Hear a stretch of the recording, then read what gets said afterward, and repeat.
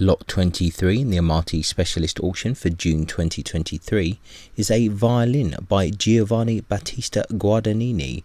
It was made in Turin around 1771.